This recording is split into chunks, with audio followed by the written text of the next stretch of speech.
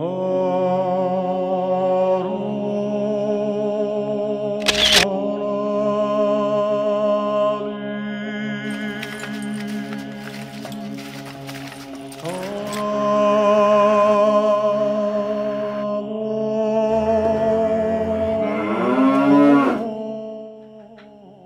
you go to Zugdidi on the night train from Tbilisi.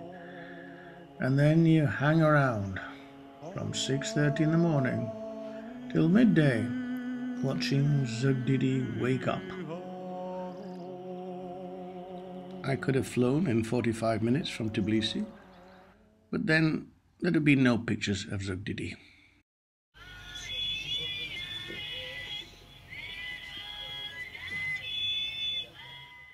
After hours of greeting the day,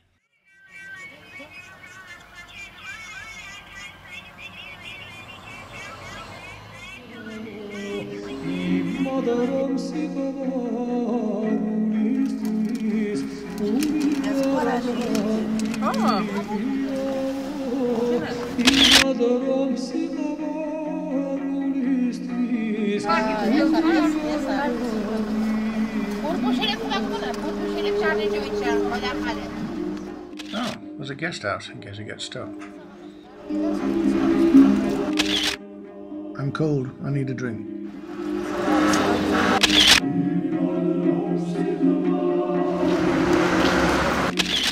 I need my caffeine fix. Ah, might find a coffee in here.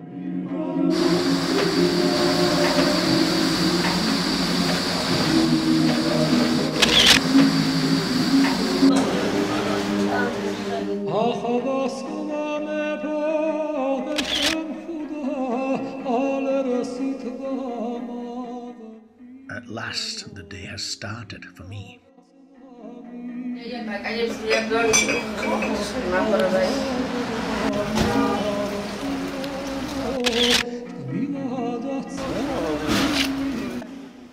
A watched pot never boils. I'll go for another coffee.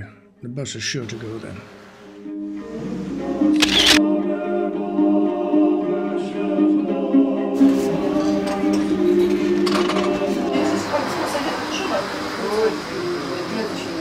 I should thank God and the Patriarch for my camera.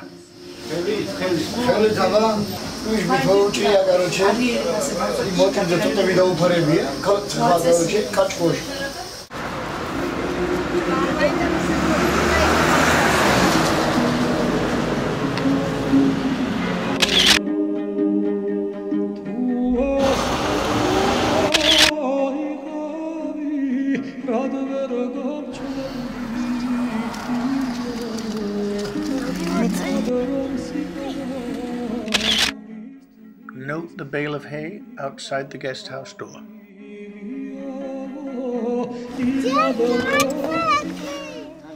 It's midday. At last, we're off. 90 minutes later, a breakfast stop with khachapuri and vodka. What is your name? My name is Chris. I've been this road twice before. But then it was summer and another story. Hi, Nico. I remember you from 2008. I was here in But that's a lot of vodka ago, so why would he remember me? Vodka withstanding, Nico is a good driver. He has to be.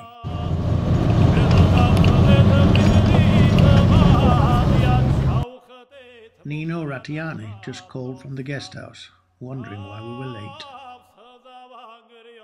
Most travellers know Nino, and all minibus drivers know her.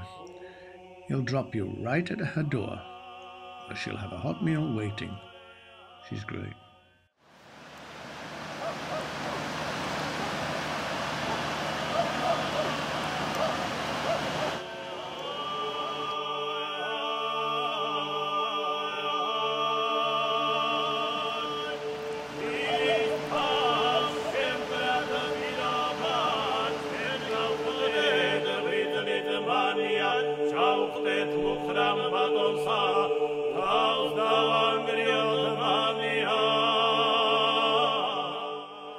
Mestia has changed a lot.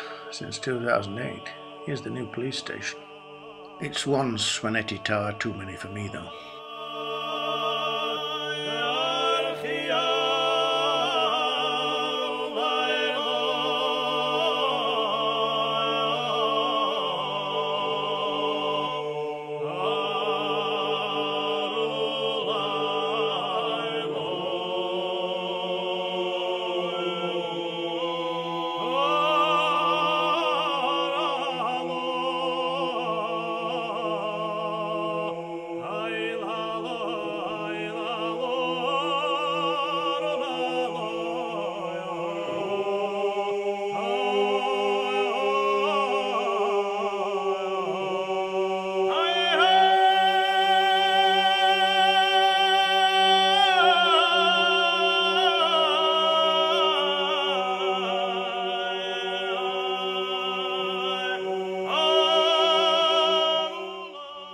The sun was going, and the snow was too deep. We couldn't make it to the cross on the hill. So my French walking companion and I decided to return. The snow was knee deep and my boots were getting wet. Time to turn around. Nino just called. She wondered how long it'd be. I was feeling hungry already. I slipped and tumbled in the snow, but the thought of a warm kept me going.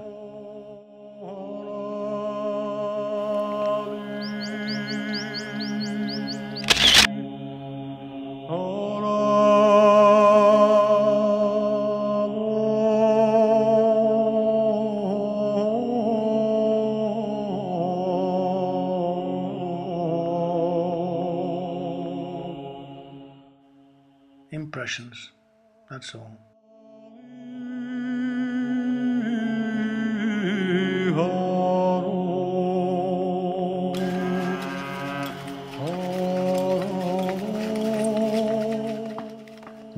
Looking at me like that?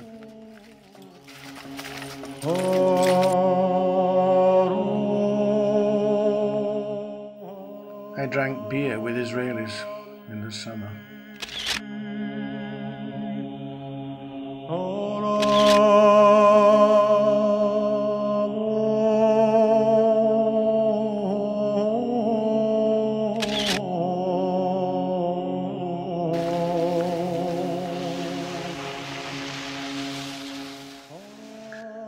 Go on taking pictures.